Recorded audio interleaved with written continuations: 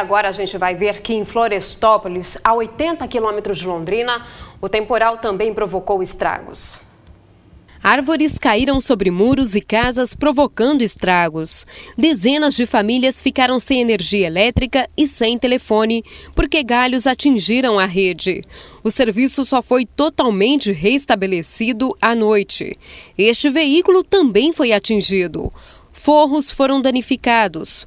A cobertura do posto de combustível foi danificada pelo vento e dezenas de casas destelhadas. A Defesa Civil distribuiu lonas para as famílias atingidas pelo temporal.